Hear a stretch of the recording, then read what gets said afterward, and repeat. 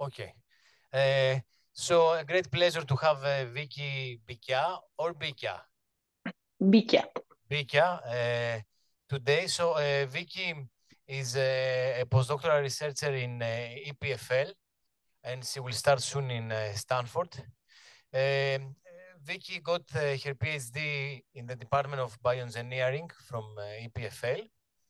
Uh, and before that, she did her undergraduate in um, electrical and computer engineering in uh, Aristotle University of uh, Thessaloniki. Uh, her interests are in machine learning and non-invasive cardiovascular monitoring. And she has written many papers, including papers in Nature, and she has also US uh, patents and so on. So the title is Harnessing Physics-Driven Modeling and Artificial Intelligence for Non-Invasive Cardiovascular Health Monitoring. So we hear you with pleasure. Thanks a lot for talking to us today. Thank you, thank you. So um, good afternoon. Um, I'm Vicky Bikia, and it's a great pleasure to be uh, presenting today at the School of Electrical and Computer Engineering of the Technical University of Crete as part of the Machine Learning and Data Science course.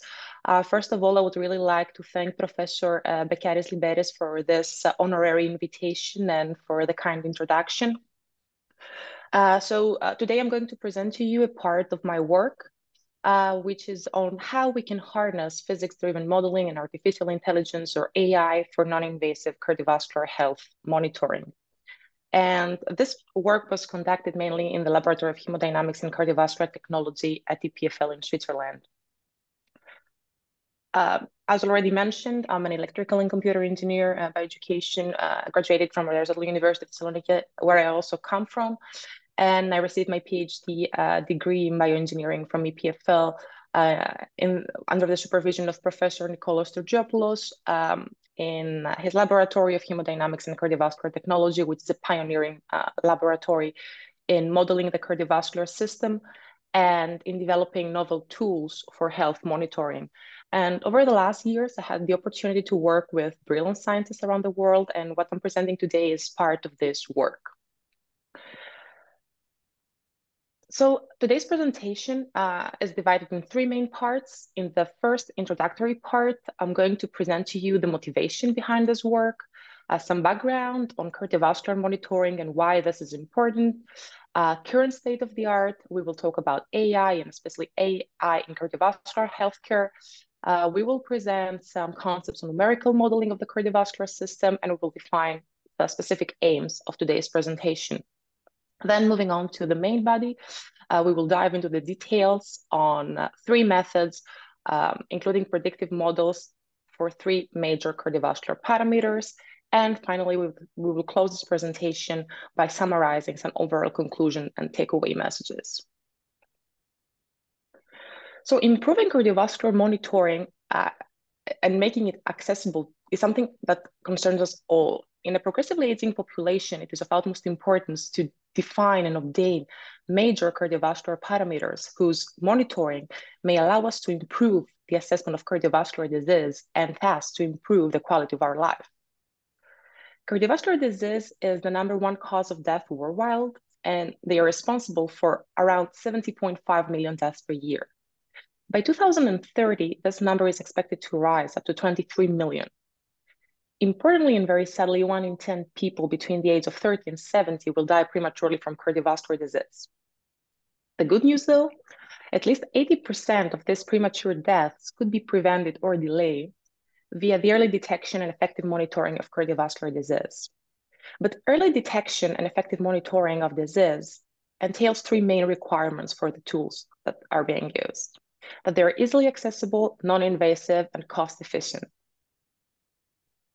So the cornerstone of cardiovascular monitoring involves the measurement of two major quantities, the blood pressure and the blood flow. Measurement of blood flow uh, is classified into invasive methods, such as using a catheter um, into the arteries, uh, into the, into the arteries, or invasive methods, including sphygmomanometry, conventional cuff that you're probably familiar with, applanation tonometry, and many more. Similarly, the measurement of blood flow can be performed by invasive means and by non-invasive means with the most common methods, including phase contrast uh, magnetic resonance imaging and ultrasound. So in clinical practice, there is a wide variety of measuring methods for cardiovascular monitoring, and those methods are different to each other with respect to the quantity they measure and the location to which they're applied. So data can be acquired either in the peripheral sites, such as the arm, the wrist, the leg, many more, or at central sites like the aorta and the heart. So from now on, we will refer to data acquired uh, in the heart or at the aorta as central measurements and data acquired in peripheral sites at locations that are distal to the heart as peripheral measurements.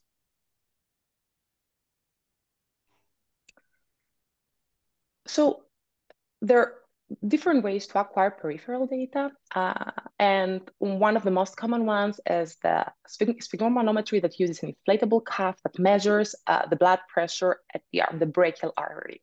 And this is a rather easy and non-invasive method to do so. On the other hand, acquiring data, central, central measurements, data in the heart or the aorta can be more challenging. There are methods including either invasive procedures or inconvenient techniques such as MRI uh, and others that they, they require heavy, large, and expensive machinery. So what I would like you to keep in mind and to, to keep from this slide is that in general, uh, peripheral measurements are easier to get in a non-invasive way, while central measurements are harder to get. And what is the problem here? The problem here is that it has been shown that data acquired in the heart or at the root of the aorta have been shown to be more powerful predictors of clinical outcomes and disease in comparison to data acquired in the periphery. So we understand that there is a need to transform those peripheral non-invasive data that we are having at hand into the more powerful, more relevant, clinically relevant central quantities of interest. So a few words about the cardiovascular system. The cardiovascular system includes the heart, which is the powerhouse the blood vessels and the blood. All those work together to transport nutrients and oxygen to all the parts of the body and then carry deoxygenated blood back to the lungs. A very easy way to think of the cardiovascular system is using an electrical analog circuit. This is one of the most simple models that you can use. So you can think of the heart as the battery, the voltage source, the arteries as resistors, and the blood flow as an electrical current. We can also introduce the concept of uh, compliance, likening it to the capacitance of the electrical circuit. And basically, the compliance or the capacitance uh, expresses the ability of the arteries to expand, to stretch, um, and distend in response to the blood exerted onto their walls.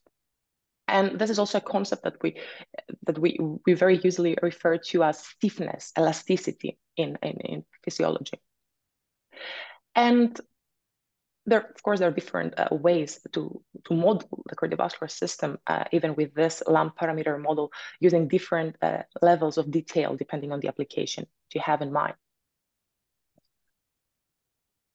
So in order to be able to uh, monitor the function of the system, uh, it is critical that we uh, estimate that we are able to predict and monitor some major cardiovascular parameters. And especially now we're going to talk about three uh, main parameters that will be our target parameters via our estimation methods that we will present later.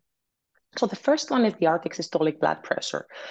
Blood pressure varies throughout the arterial tree at different parts of the body. That means that different arterial locations have different blood pressure values. And uh, formally, the blood pressure is amplified while it travels from the heart that the signal is being transmitted towards the periphery. Uh, so blood pressure is a crucial pathophysiological parameter and is typically measured in millimeters of mercury. And it has two uh, important values to remember. The aortic systolic blood pressure, which is defined as the maximum pressure at the aorta over heart cycle, and the aortic diastolic blood pressure, which is defined as the minimum uh, pressure um, at the aorta over a heart cycle. So aortic systolic blood pressure is a critical index for diagnosis and prevention of cardiovascular diseases. As you can imagine, um, acquiring directly uh, aortic systolic blood pressure would require us to use invasive methods due to the location of the aorta under uh, the thorax. In this respect, cuff arm uh, pressure readings have been used extensively as surrogate for the central blood pressure. And the simplicity and the non-invasive nature uh, of this technique has rendered it the best so far alternative. Of course, there are several uh, commercial, uh, both commercial and research methods that have used um, this peripheral pressure recordings to transform them into central aortic pressure recordings using uh, different techniques such as generalized transfer functions, moving average techniques, and machine learning techniques, and so on. However, a lot of these methods do not provide personalized estimation while they rely on simplified and unrealistic assumptions. The next parameter that we're going to talk about is cardiac output. Cardiac output quantifies uh, the blood volume that the heart expels uh, in its heartbeat per, per, unit time. Cardiac output is a fundamental um, indicator of the overall circulatory uh, function and reflecting heart's efficiency to transport blood and nutrients and oxygen to the different uh, the different parts of the body. So cardiac output is typically measured in milliliters per second or liters per minute and can be derived as the mean value, the average value of the aortic flow waveform over a heart cycle um, uh, in a measurement. So uh, abnormalities in cardiac output uh, leading to uh, deviation from the normal values can be a great indicator of hearts of failing pumping function. And this is why we, we really need to ensure regular monitoring of this parameter. So the current state of the art uh, include methods such as the magnetic resonance imaging and ultrasound. However, as you may imagine, these methods require large, heavy, and expensive machinery. Uh, those methods are dependent to the operator, and a lot of studies have shown that ultrasound derivation can suffer from inaccuracies.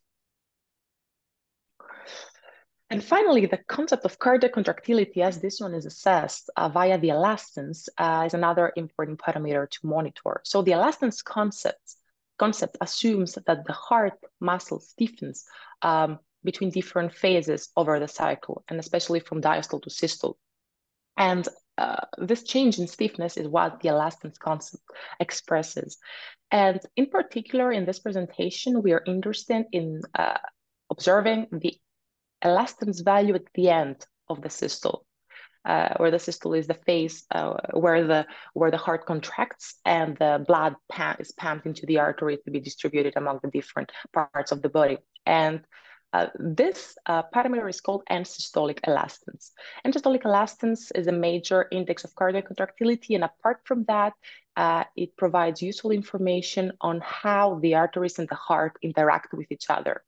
So the gold, the gold standard method for uh, acquiring end-systolic elastance involves invasive procedures, and uh, that's why current state of the art have has focused on um, indirect, non-invasive methods, which however rely on less accurate uh, techniques uh, with expensive and inconvenient mag magnetic resonance imaging or ultrasound measurements. So now that we summarized the, the parameters that we will target with our methods, uh, the goal here is to use the peripheral non-invasive data that are available to the clinician and transform them uh, to those central quantities of interest, which will be the aortic systolic blood pressure, the maximum value of the pressure at the aorta, the cardiac output, the blood volume expelled by the heart per minute, and end systolic elastance that you can think of it as the stiffness of, of the heart. And basically what we want to do here is to map unknown uh, known data uh, like the peripheral non-invasive measurements in our case, to unknown data, which are the central quantities. And when thinking about association of known data X to unknown data Y, uh, this evokes thoughts on artificial intelligence. So a great way of thinking um, about artificial intelligence or AI is as a set of tools. And AI has a wide variety of, of, of techniques available Supervised learning is uh, the, the most commonly used one and one of the most useful one, which is really good at recognizing things and labeling things. So if you're familiar with AI, you might have uh, heard of other techniques as well. Including uh, Gen AI, which is a rather new, exciting technology, unsupervised learning, reinforcement learning. And of course, all of these uh, techniques have found applications in healthcare with supervised learning techniques used for predict predictive risk models or patient stratification through unsupervised learning or adaptive treatment optimization via reinforcement learning and some newer studies on how we can use Gen AI to, uh, to create clinical language representation of admission notes. So the concept of mapping specific data like symptoms, medical history, laboratory, laboratory tests to a clinical outcome is not new to medicine, and it's called basically diagnosis. Uh, so supervised learning is really, really good at creating mappings of uh, input output and X to Y. So if someone wants to basically to create a model that predicts Y from X, all they have to do is to collect a few data points, create a data set, split this data set into a training set and a test set, use the training set to train a machine learning model and then deploy it, and then use this model um, on the test data and using inference, we can have predictions from the test set, which has been held out entirely of the learning process. Uh, so the last decade has been a uh, decade of large-scale supervised learning, and this is something that was permitted due to breakthroughs in several aspects related to AI, uh, and those include uh, data availability, uh, advancements in modeling, algorithms, and infrastructure. So on the cardiovascular health, um, on the cardiovascular health, there has been an abundance of data that has been created that creates tremendous opportunities for advanced diagnosis, prognosis, and medical data interpretability. So machine learning becomes the beacon for innovation. So quality data fuels models trained using advanced uh, supervised learning techniques to uh, either predict major cardiovascular quantities or to predict cardiovascular risks or events. And all these tools provide a great aid to the clinician in the clinical decision-making process. So using exist existing models has been uh, made remarkably fast and easy thanks to the proliferation of libraries and user-friendly frameworks and there is a wide array of available models, including decision tree based models, neural networks, linear models, gradient boosting, and many, many more. And options like TensorFlow, PyTorch, scikit-learn, and other have enabled the developer to, to integrate those models in their applications, in their projects, without the need for extensive or deep machine learning algorithm knowledge. So another interesting concept um, is that also some models, um, like neural network network mod based models that can use raw input data um, instead of manually extracted features to their modeling process. And uh, this is done by deciphering hidden hidden information, higher level uh, a piece of information and bend it into the raw data. And this can even lead to improve um, uh, accuracy uh, for the model. And this is something that we will uh, talk about later uh, in one of the methodologies we will explore. So if anyone is interested in learning more about uh, application of uh, supervised learning and uh, supervised learning uh, in, in vascular aging application, feel free uh, to take a look at our latest review. It also includes some case studies for practice and discuss uh, other future directions in the field. Now I'd like to spend some slides talking about numerical modeling of the cardiovascular system. So understanding um, all this complex uh, and nonlinear relationships among different uh, variables of the cardiovascular system can be rather challenging. So models of the cardiovascular system allow us to disentangle uh, the function and mechanism related to this uh, system via the use of mathematical analysis and computer simulations. Basically, we are having a model on the screen of our computer and those models, uh, they can they come like in different uh, dimensions. Like we can have zero D models, one D models, three D models, depending on the uh, level of detail and accuracy that we require for the specific application under consideration. But what all these models have in common is that they offer a long list of advantages.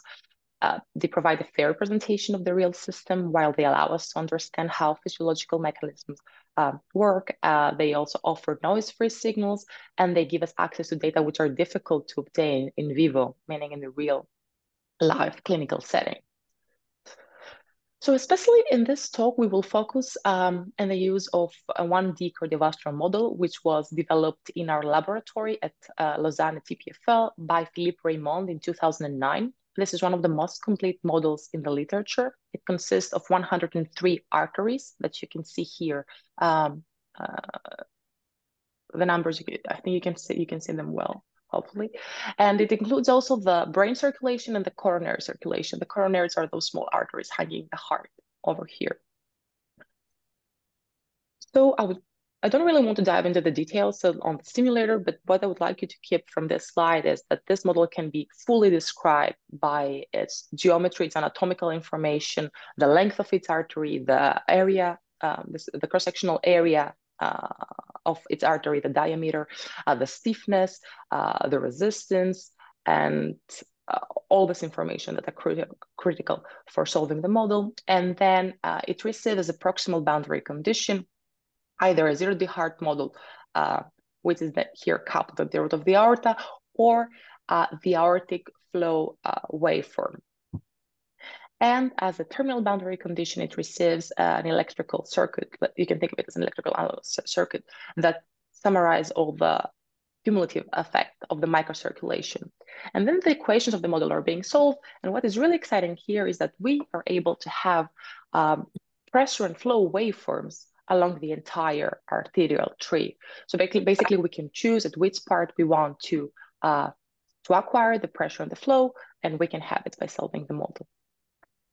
And this model has been thoroughly validated in the past and have, has been so capable of producing faithful and clinically relevant representations of blood pressure and flow waves. Uh, so now I'd like to spend some seconds on, um, uh, on explaining the pressure and the flow variation over a cycle very briefly because those are terms that we're going to revisit later in the presentation. So basically here uh, to the left, we're having the pressure variation over a heart cycle at the aorta. And again, we're having the aortic systolic blood pressure that we talked about and the aortic diastolic blood pressure, which is the minimum uh, pressure at the aorta. In a similar way, we're having the, the same concept for the brachial artery, which is the artery uh, placed located at the arm. And we're having the brachial systolic blood pressure uh, and the brachial diastolic blood pressure.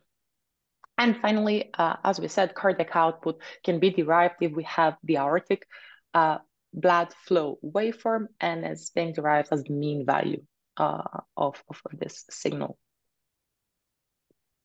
Again, if you're interested in learning more about how this, those models can be developed, how they work, uh, there's also very detailed technical supplement in this uh, in this review paper. Free free to to check it out, and also feel free to reach out if you're having any questions uh, that follow up your your, your readings.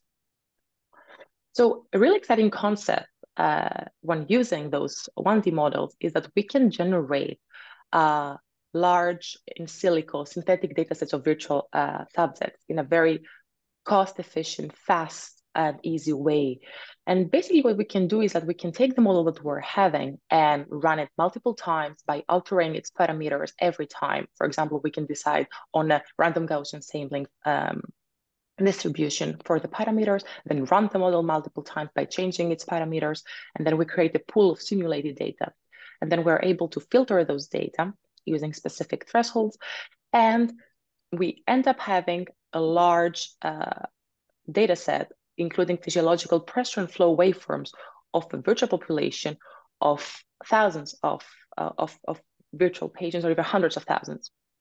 And this is really useful, especially if you like to use it for, for machine learning applications where uh, data availability is a big thing. And this brings us to uh, defining the overall aim. The overall aim here is to develop and validate non-invasive methods that can provide us estimations of central cardiovascular uh, biomarkers. And this can be done by using both physics-based modeling and, mach and, machine learning. And the specific aims of this presentation is to, to create uh, monitors that can derive central hemodynamics. And by central hemodynamics, we refer to aortic systolic blood pressure and cardiac output using readily available non-invasive pressure data. Acquired in the periphery, and to develop non-invasive predictors for cardiac contractility, as assessed via the end systolic elastance parameter that we talked about. And now if you're still with me, we, we are getting to our first method. So the aim of the first method is to, esti to estimate non-invasively cardiac output and aortic systolic blood pressure from multiple blood pressure uh, measurements. And especially, we will uh, get those non-invasive estimations of aortic systolic blood pressure and cardiac output by adjusting and 1D, the 1D model that we described before uh, by rendering it patient specific using those measured uh, input uh, measurements. So again, the goal here is to estimate those, those uh, aortic systolic blood pressure and cardiac output values by adjusting the one-tree uh, model. And the, essentially the input data that we will uh, acquire for each subject include those three measurements, the arm cuff pressure and the arterial pulse on the neck and the groin. And from those measurements, we're able to extract uh, some features in conjunction, of course, with demographical information that can be rather informative in such models. So our input feature will include the age, the gender, the height, the weight, the heart rate, which is something that we can measure. And we will extract from the measurements the brachial systolic blood pressure, the brachial diastolic blood pressure, which are basically the maximum and the minimum uh, values of pressure at the arm, where, where the, bra the brachial artery is placed, and carotid to femoral, pulse wave velocity. So carotid femoral pulse velocity is an index uh, of arterial stiffness, and it can be derived as uh, as the wave speed uh, for the wave traveling, the pressure wave traveling from the common carotid artery to the common femoral artery. So to acquire this, um, this marker, we can measure the pulse of the common carotid artery and the common femoral artery, then uh, estimate the time lag between uh, these two waveforms, basically the time that the wave needed to travel from the one location to the other. And by the definition of wave speed, we can divide the distance between the two arterial locations, which in clinical practice can be estimated rather accurately, divided by the time lag and get the wave speed. And this wave speed is what we call femoral pulse velocity. And what's important about this uh, measure is that it has been shown to be correlated with age and an indicator of several clinical outcomes. So again, we're having our eight uh, input features and we feed them to the generic 1D model that we described below. And then by running an optimization process, changing the models, the model's parameter, then we can create an adapted version of the 1D model let's say, a quasi-personalized uh, version of this model that then allow us to derive our systolic blood pressure and cardiac output. So in order to simplify a bit the input-output problem uh, uh, for the model, so taking the model that we describe, you can think of it as a model that it receives as inputs. those parameters, the arterial length of the artery, the, the length of the arteries, the diameter of the arteries, the heart rate, the compliance, the resistance, and cardiac output. So if we give those inputs to the model, then the model is able to provide to us the pressure and flow waveforms at all arteries. And if we're having the pressure and the flow waveforms at all arteries, we're able to get the brachial, systolic, and diastolic blood pressure and carotid to femoral pulse velocity. So to make, to make it even easier to follow, let's say that those are the inputs of our model and the outputs are the brachial, systolic, and diastolic and pulse velocity. So basically what we can do is that the arterial length can be approximated using the height. So if we assume that we're having a model that corresponds to the model that we're having in the lab is a model that corresponds to, to um, a male uh, with a height of 180, let's say meters, then we can adjust in a uniform way uh, the length of the arteries for, for, for another uh, person under consideration, which is higher or shorter. In a similar way, uh, there have been studies that have um, correlated the diameter of the arteries with um, uh, information like age, gender, and BSI, which basically includes the weight and the height there. Then the heart rate is something that we measure. So those three parameters basically are uh, have already uh, been assigned with some values. And then we end up having the compliance, the resistance, and the cardiac output that are unknown uh, to our model. And basically, those are the ones that need to be optimized in order to control the outputs. So going back to the optimization algorithm, so if we provide those inputs uh, to, to our model and then chose, uh, choose some arbitrary values for the compliance, the resistance the cardiac output, we fit the model with those data and we solve it. Then from the model, we're going to get the brachial systolic and diastolic blood pressure and the, and the pulse velocity. What we do then is to compare those simulated uh, data uh, to the actual data acquired for the specific person under consideration. The first time that we ran the model using the arbitrary values for these three parameters here, we, we expect that the comparison between the actual and the simulated data will give us different values. So in this, uh, in this case, we modify using a gradient descent based algorithm, the compliance, resistance, and cardiac output, and we fit it back to the model. And this process basically is repeated until uh, convergence uh, is reached. So basically until simulated and actual data match. Once this is this has happened, then we can assume that we're having a quasi-personalized uh, version of the arterial tree model, and then this will allow us to have also the aortic systolic blood pressure and cardiac output. I'm saying quasi-personalized here because we had made some assumptions regarding uh, some of the input parameters, and of course, uh, it's a model we're talking about, so we cannot really say that we have performed a perfectly uh, matching version of the model to the specific person under consideration.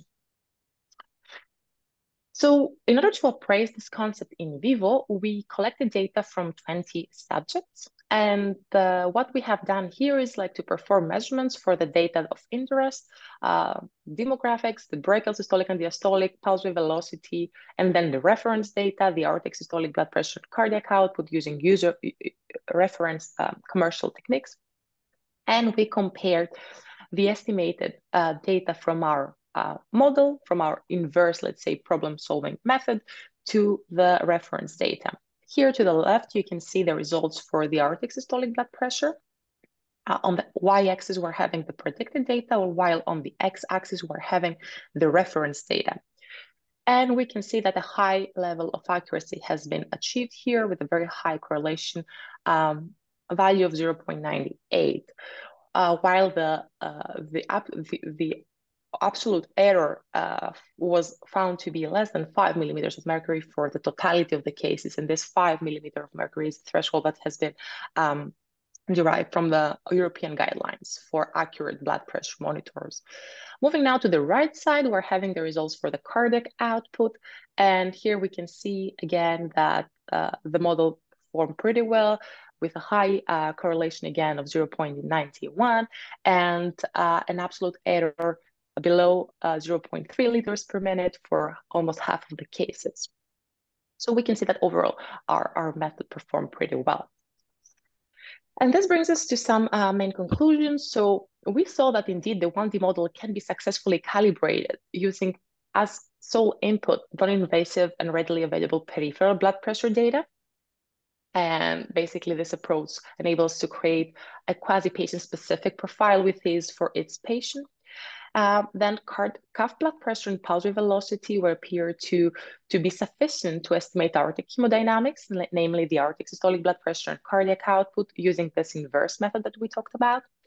And finally, the next crucial step involves the validation of these techniques using gold standard measures of aortic systolic blood pressure and cardiac output. And gold standard measure, measures include invasive techniques. Uh, so uh, we're currently running uh, currently running um, a clinical study uh, in the Hospital of Geneva, where we're collecting invasive data for cardiac output uh, from a pool of patients, and we expect to finalize our validation in vivo soon. Moving now to the next method, uh, here, the the first aim will be the same with the one that we uh, saw in our previous method. So again, we want to estimate our systolic blood pressure and cardiac output, but now we will also target end systolic elastance.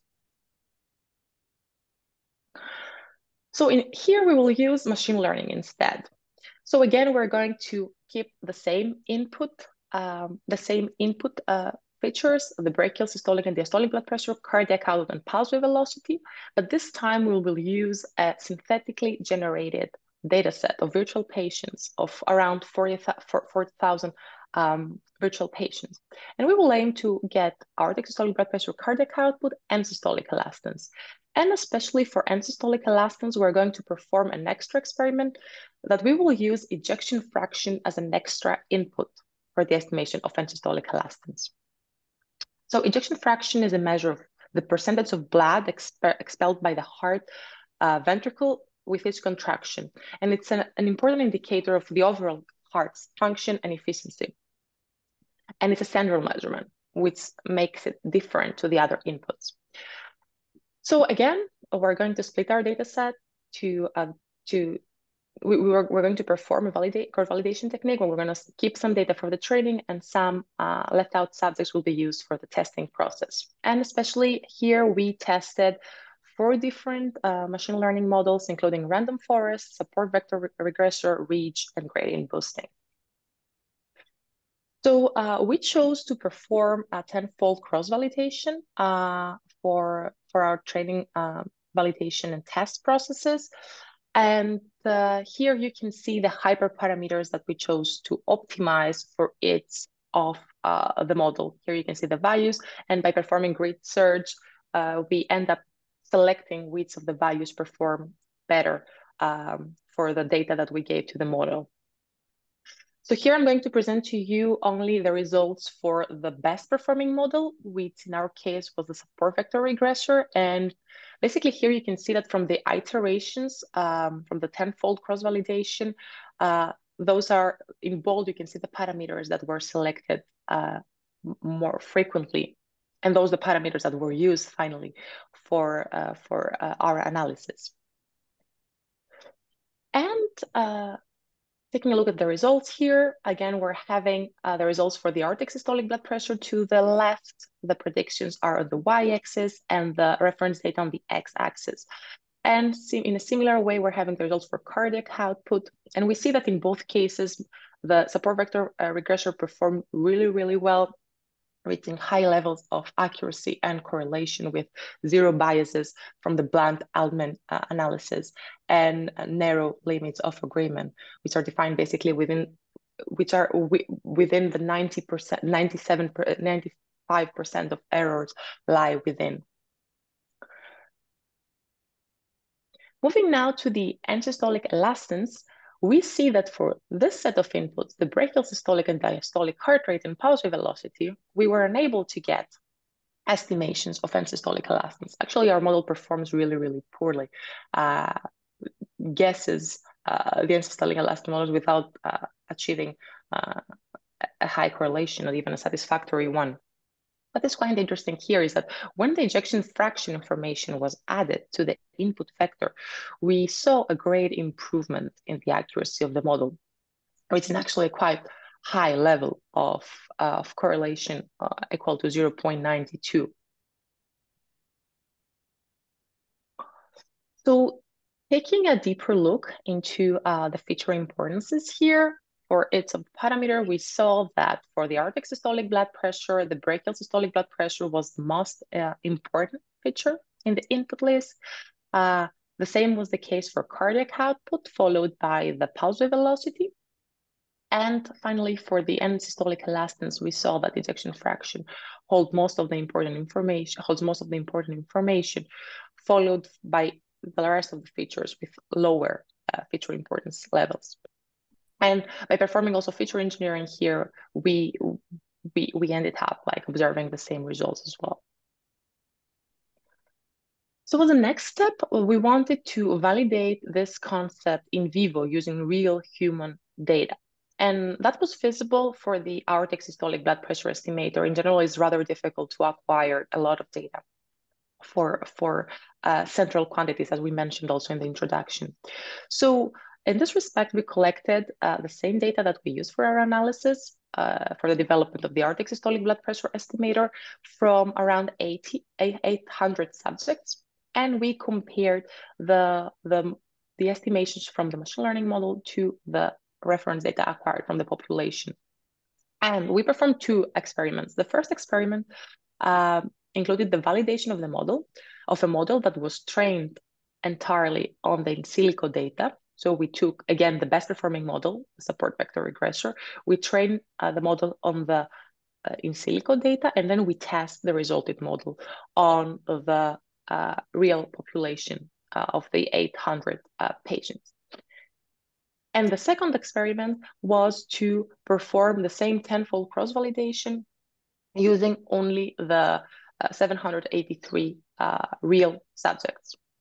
And here you can see the results.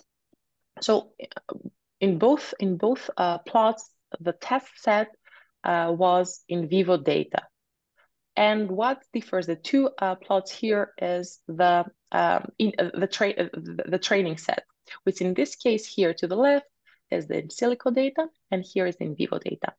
And we can see that there is a high performance achieved in both cases. And as expected, we're having a slightly improved performance when the in vivo data were used for the training, which is rather expected, expected if we assume that the real data um, describe much better the content of the test data because they come from the same population. So uh, reaching our conclusions, um, so we saw that peripheral non-invasive blood pressure measurements uh, can provide a strong source of information to accurately predict aortic systolic blood pressure and cardiac output through machine learning. Uh, that was not the case for the end-systolic elastance, where the inclusion of ejection fraction was necessary in order to achieve accurate estimates of this parameter. Uh, it was really impressive to see how machine learning can be a great alternative uh, uh, to solve the same problem that we explored before with the inverse uh, method and how it can you it can provide uh, tremendous um, opportunities for development uh, of methods for the cardiovascular health monitoring.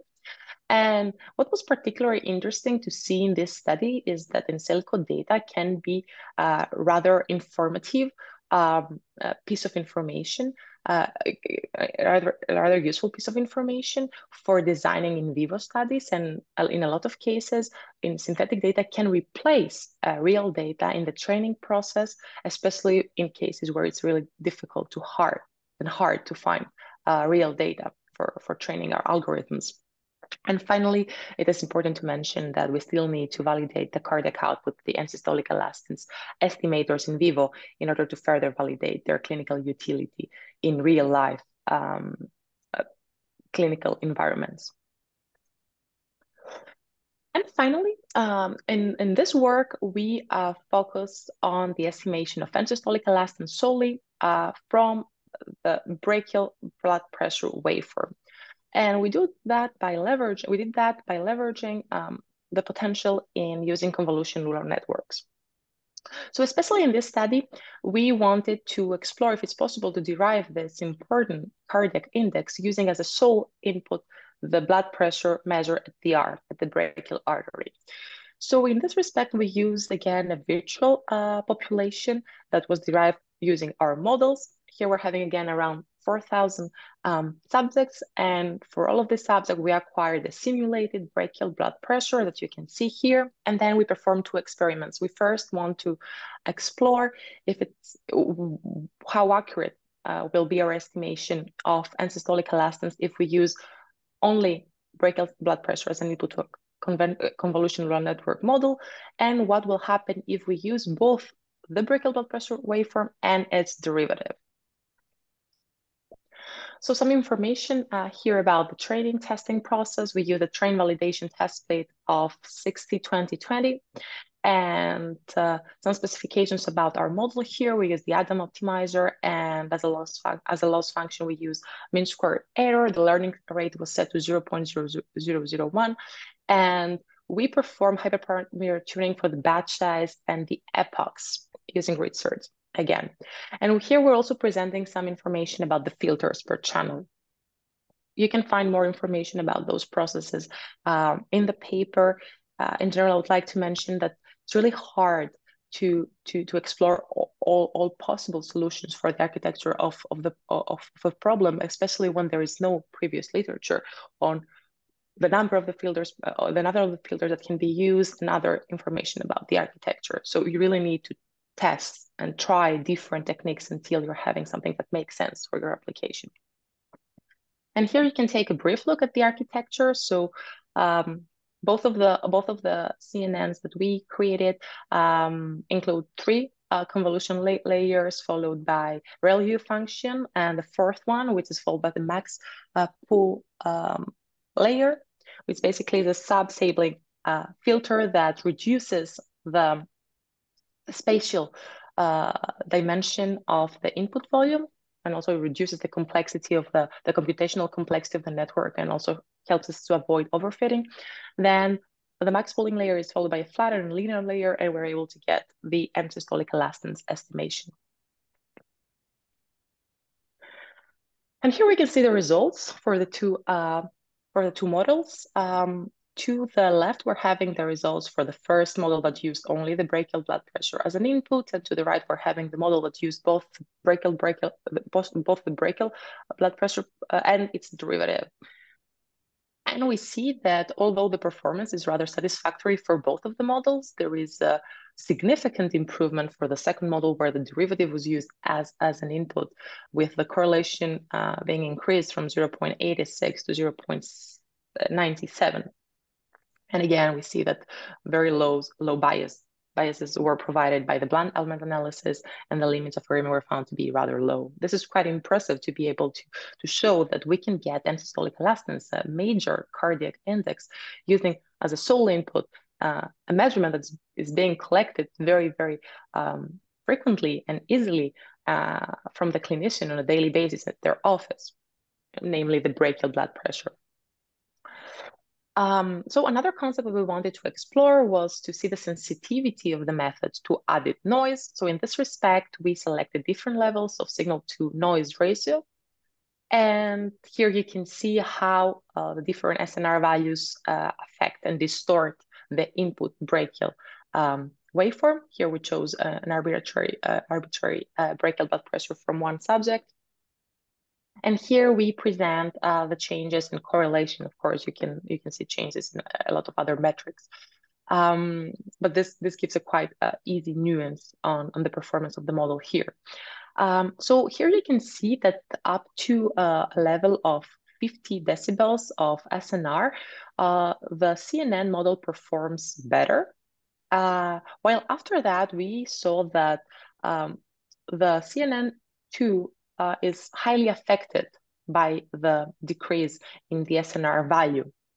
And this, I would say, is rather expected due to the fact that the second uh, CNN model is dependent to two, uh, to two times um, the error that is introduced to the brachial blood pressure waveform. So uh, in this study, we saw that it's possible to, um, to achieve an accurate prediction of cardiac contractility index as uh, assessed via the systolic elastance uh, index. And the, this is possible by using only the blood pressure waveform acquired at the brachial artery at the arm in general, uh, the model that used both the blood pressure wave at the uh, arm and its derivative was found to have a superior performance in comparison to the model using only uh, the blood pressure waveform at the arm. However, we saw that the first model, the second model, the first model, the one using the blood pressure waveform only, uh, was found to be more robust to noise, and this is attributed to the to its single input dependency. And finally, what is really important is that we saw that CNN models can provide really uh, great tools for unraveling hidden information, higher level hidden information embedded in the morphology of, of, of the raw, the raw brachial uh, blood pressure wave. And this can provide a deeper understanding of how complexity is associated with cardiac contractility assessment.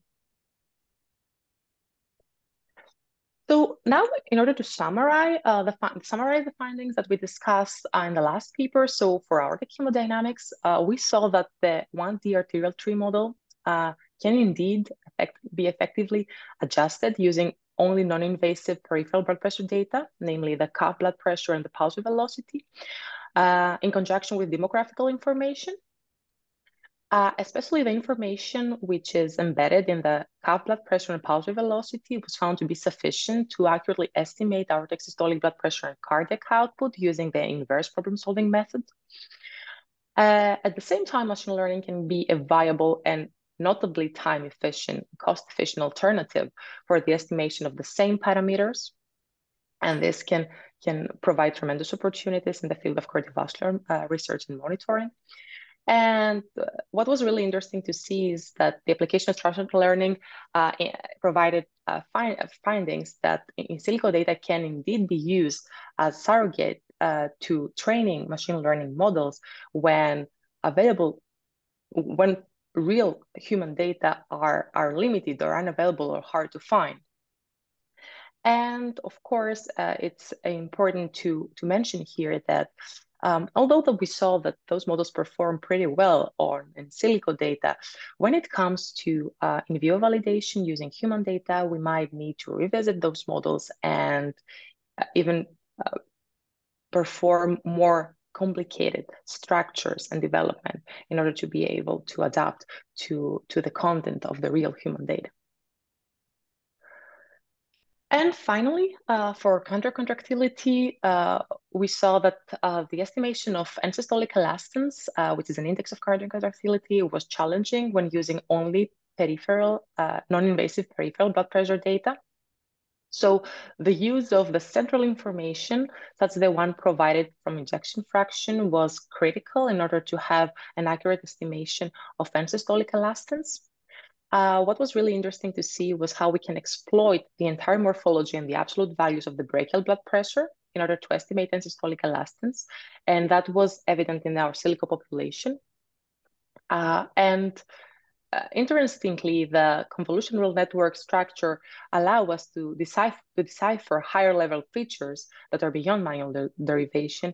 And those and those um, those practices provided us a more nuanced understanding of the complexities associated with the cardiac contractility index. And finally, while promising in silico, we definitely need to um, validate our results and those concepts in, uh, in real human data in order to further verify their clinical utility in the real uh, clinical environment, the real healthcare settings. So I would like to conclude by saying that uh, machine learning and physics-driven modeling provide tremendous opportunities, and we as engineers need to contribute using our best methods and tools to improve health monitoring. So such models, uh, once thoroughly validated in humans and standardized, can be integrated in wearable devices and therefore transform completely uh, continuous monitoring inside and outside uh, of the clinical uh, environment. And this is something that can potentially change or even save lives. Thank you.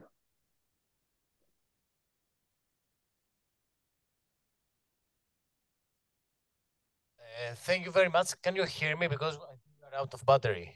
Yes, I you can. can hear me, right? Yes, yes, very okay, well. Okay, thank you very much. I think this is very interesting and very important. Uh, I don't know who has a question.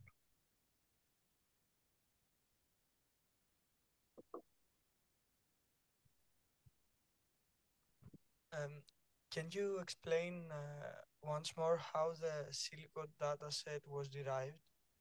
Yeah, sure. Perhaps we can revisit the site just to have a better picture.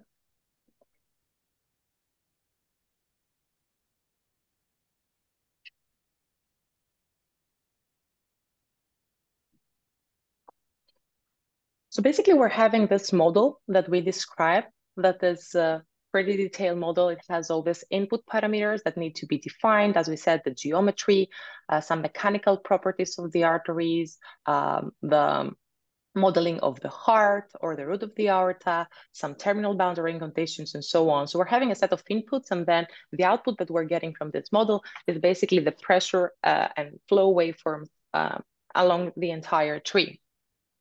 So basically by altering these input parameters of the model and run this model mul multiple times, then we can create different versions of this model. So going back to the to the altering of the parameters. So basically what we do here is that we um, we isolate the input parameters of the model, meaning the length, for example, or the diameter, or how stiff the aorta is, or how resistant resistant the the um, distal parts are, and we try to find all this input data uh, of the model in the literature in previously published uh, papers. So a lot of research, uh, a lot of research labs or even companies have performed studies when they measure data on real on real humans, and they publish those results. So we try to dig into the uh, to the literature and uh, and find how those input parameters of the model can vary in a population. Of course, uh, what, what you usually find in the literature is data in the form of max, uh, mean, average value, standard deviation. So you're getting uh, distributions of how those parameters of the model, of those measurements basically, uh, can change in a real human population. So what we do is that we basically try to isolate those published, previously published data from humans, and then we assume some sampling um, we make a, a, sampling assumption from the literature data. And then we say that we chose for our model um, uh, that the length of the aorta will be within the, this certain range. And we do the same for all the input parameters, for example. And then randomly, we choose those inputs and we feed those inputs to the model. And then the model ends up running multiple, multiple times with different sets of input, input parameters. Of course, because we had made some assumptions regarding the inputs, we end up with this pool of simulated data here in the middle, where we might have some abnormal uh, values for pressure, for example, because of the combination of the different input parameters. So perhaps we end up having, um, let's say, um, a blood pressure value at the equal to 500 this is not possible. Like such a high 500 uh, millimeters of mercury while it cannot even reach like half of this um, of this value uh, at the hour that this person would be dead. So then after we're having all this data we perform filtering. So especially we focus on pressure. We go back to the literature again and we see from published data from uh, from other researchers that um, the systolic blood pressure at the aorta should lie within certain limits in order to have a physiologically, um, let's say, uh, relevant subject. And we do the same for different uh, for different values of pressure. And we compare the pressures from the pool of the simulated data to those that we have acquired from the literature. And then we disregard all those subjects that do not satisfy the criteria, the criteria that we set. And after that, we end up having uh, less, of course, uh, data because we have disregard disregarded those that they don't correspond to physiologically relevant subjects, uh, valid subjects, and we have the final in silico data set. Hope that, that was helpful. Thank you very much. Uh, another question?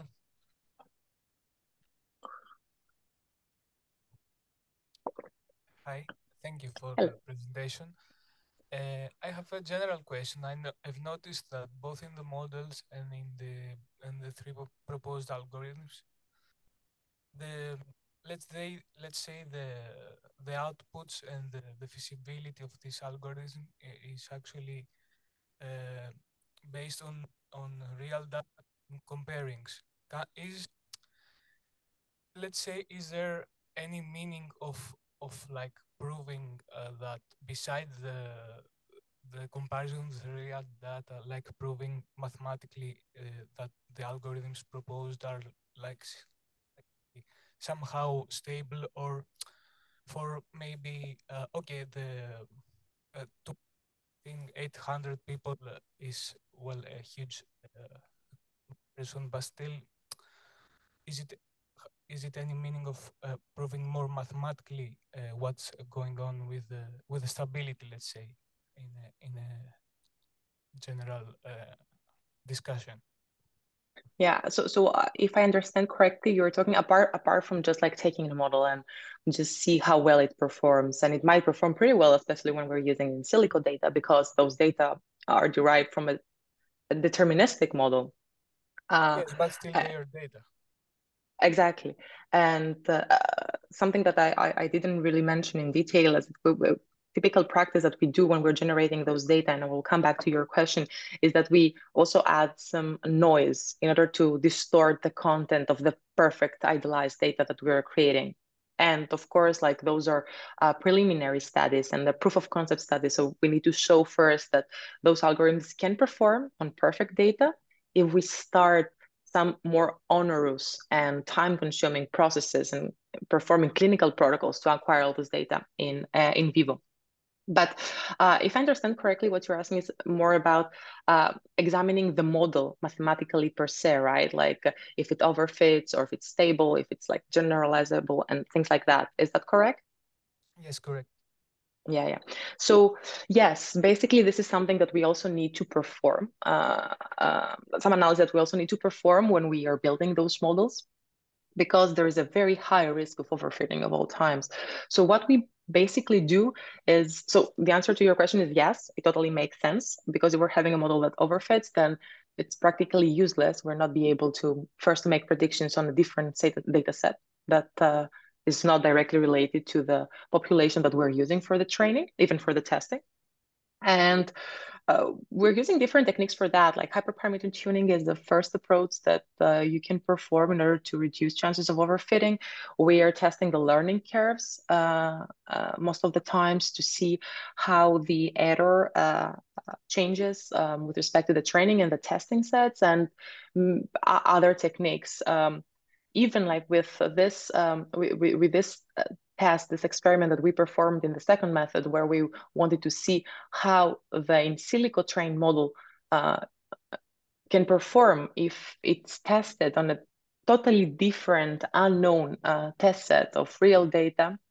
This is also kind of indication that yes, perhaps those models are stable and can be generalized uh, to, to different populations.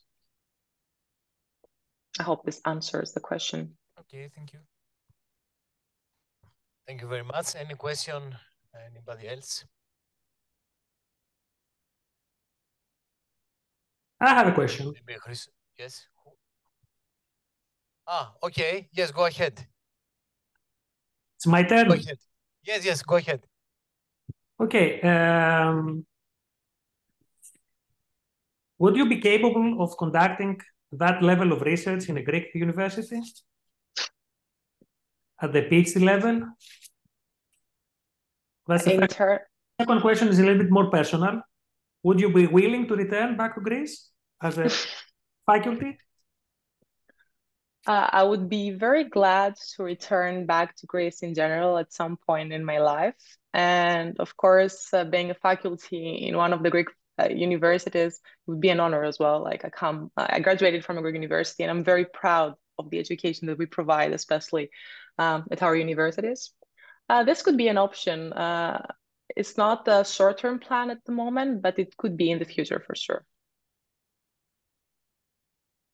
Okay, and uh, would that level of uh, would that line of research be possible to be conducted in a Greek university? I mean, what kind of resources would you need? Yes, absolutely. And in fact, uh, I don't know if you noticed in the papers and the acknowledgements in the end, we're collaborating very closely with with uh, Greek universities and hospitals. Like uh, uh our like our collaborators in Greek universities doing a great job, and they're having huge quantities of data that we're using both for training and validation purposes. We're in very close collaboration, anyways, and like those tools that we are building basically uh, are, are computer based actually we're having the models and if we have access to those data we can definitely perform this analysis anywhere. But we're also already doing this like a large part of this work is being conducted in collaboration with greek institutions. And i'm also very happy personally about that. Okay. Uh, would you be willing to take a look at our curriculum in the mlds program and uh, sure. offer suggestions Sure, sure. With great pleasure. I have already been taking a look on that. I will be more than happy to do it more thoroughly. Okay. Thank you so much. Thank you. Uh, Vasiliki, thank you for a very nice presentation, which uh, combines physics and also machine learning, which is not something that uh, we um, we find very often. So that's very nice. Uh, I have two questions which are kind of peripheral to your presentation. Mm -hmm uh, at one point you mentioned that uh, you can use instead of uh, features you can use raw data. Um, and there i was wondering if uh, these data are not uh, pre-processed uh, how how can you tell anything about potential impact of artifacts in the data? Yeah that's a great question. Um, so basically uh, using the in silico data uh, allow us to surpass kind of this uh, this problem when dealing with artifacts and errors in the measurements of the data. Um, this is a big this is this is a big thing and this is something we we don't really address here. Um, let's say that the the closest um, answer that I could give to this question is if we take a look at um, sorry give me a moment to um, this slide when we introduce, let's say that we're measuring um, we're measuring the blood pressure at the brachial artery as we saw before.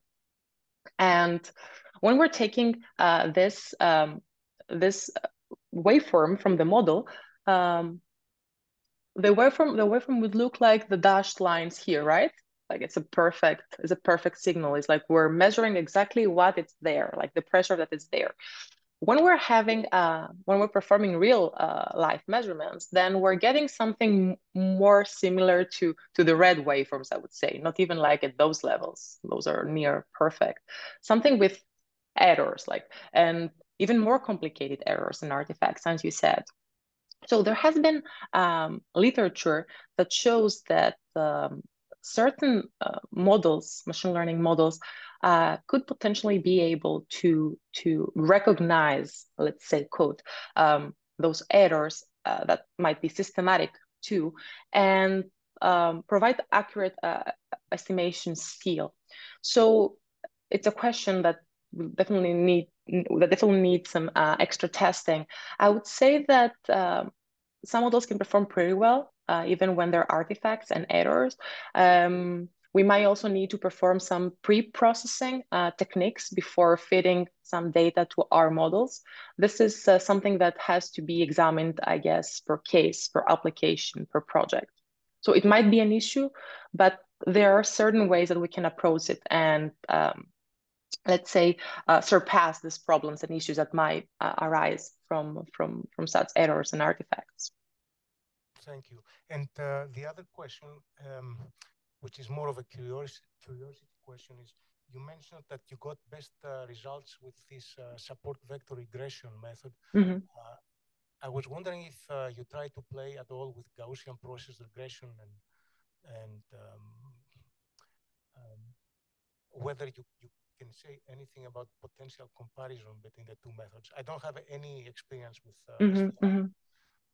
I'll tell you. Um, actually uh, with, with with all the models available everything is possible and especially in this paper i remember and this is a quite personal story when i was writing this paper you know i started by selecting some of the models that i thought that they could provide some insights um, on how well we can predict uh, those parameters of interest using our inputs and the selection of the model was, was trying to cover a big part so i don't i don't know uh, to, to, to briefly answer that, I don't really know the answer to this question. Yes, it would make make sense to test this for sure. But you know, sometimes we're having all these options and we could end up having a huge list of all the models that we could use. And I even remember when I was writing this paper and I submitted it using like this uh, three methods in the beginning. Then I had also the reviewers, you know, asking why you don't add this and why you don't add the other, and then why you're getting some ensemble learning techniques.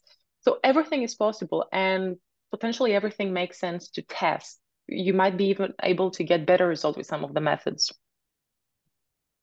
Okay, thank you very much again. Thank you. Any other question? I have uh, also a question, if it's possible. Okay, yes, yes.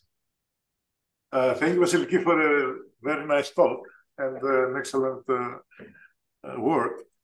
My question is about the data that you have uh, collected uh, and uh, not just collected but also processed and um, and I suppose generated data sets. So actually two questions. What percentage of the time did you spend on uh, managing data, not really doing uh, learning, but just trying to to wrestle with knowledge, with uh, incompatible uh, numbers, units, all of that. And uh, the second question is, uh, have you had any experience with federated machine learning where the idea is that you do not collect data, but you that synchronize partners uh, learn uh, with everybody's data, but at their own sites? Mm-hmm, mm-hmm. Uh, so I will first answer the second question. No, I, I don't really have experience in that, but I find it like as an exciting avenue for research for sure, and that would be definitely an option, especially in, in these applications as well. And regarding your first question, uh, a huge amount of time was spent on the data uh, processes, including uh, generation. Uh, first of all, including the design of, of, of the data set, like uh, to look into the literature, to select the parameter, to choose one study over the other, or to combine studies, find the right populations in the literature from which you will draw the, da the data distributions. Um, then to to to prepare the code for right for for generating the data set then it takes a lot of time as well to generate to run the model multiple times because uh, it's important to mention that those 1D models are great tools, but they can take time.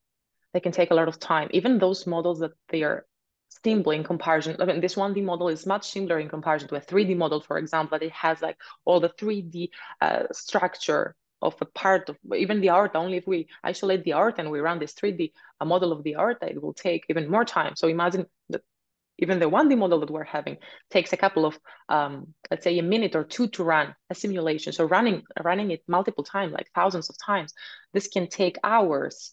And so you have to wait for this to be completed. And then when you're getting your data, you have to apply the filtering processes to do some data exploration to see the outliers, why you're having like these higher levels of pressure. Then you do some fine tuning on the gener on the generation process.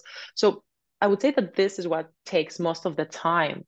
And your data in machine learning processes, like the data really make the difference. If you are don't if you don't have high quality data, and you don't really invest a lot of time on the design of your data, uh, population, then you end, you end up having a model that doesn't really make sense. So you really want to, to mimic the content of, of, the test data, let's say, of the, of, of the population that you want to make predictions about. You want to make a, a synthetic population that really mimics those properties of the real human data. And the closer you are uh, when you're making, creating your training data set, the more, the most, the most useful, the most, the more useful your model will be. So I would say that like data uh, data preparation and data analysis takes most of the time. Then the model, like the algorithms are there. We we we work on the models. We we change like the parameters of the model. We tune them. Uh, we adjust them. Then it's like the training process. But this time is relatively smaller co in comparison to the data preparation for sure. Thank you. Thank you. Okay, thank you very much. Maybe I can also ask one question. You you answered so many questions uh, last week we meet. So maybe now that you are talking about the, the computational complexity of this, maybe I would like to ask uh, whether this could be a problem for a, an online application where you want in an online manner to identify these parameters or in time scales that uh, in time scales that this could be a threat. I mean, or this is not a problem in these time scales, that it cannot be a mm-hmm. threat mm -hmm. if you detect some change in the parameters you identify. Mm -hmm. So first of all, um, this um, rendering uh, those estimations like into an online problem is, is definitely what would make sense. And so um, either you either you you want to achieve a continuous or online monitoring or um, let's say monitoring of a, of a, of a parameter on a regular basis um, really depends on on the person that you want to to monitor to examine. So if you're having like a, a patient with chronic disease or someone at high high risk uh, perhaps uh, continuous online monitoring of certain parameters would make sense. While if you're having a healthy individual or someone that ages normally, then you might want just to perform um, a couple of tests from time to time. Um, so in terms of applicability, I would say that machine learning applications, especially of this size, are totally feasible to be done uh, in an online manner. And like you can easily get the, the output that you want by running the, the program, like um, the model. Uh, while in the case of the first method, the inverse problem solving method, this is not feasible at all. Like it's really time consuming. And this is really mostly uh, for I would say for demonstration or like research purposes to explore if this is feasible. and then we can certainly uh, uh, uh, apply different methods to to to to to, to emulate like the, these processes of the inverse problem solving method. Um, so yes, uh, I would say. Okay. Okay. yeah. Yeah. Yeah. Okay. Okay. Thanks a lot. All right. So thank you so much uh, for uh, talking to us today. No thank you question? very much for the invitation. okay. Let's think.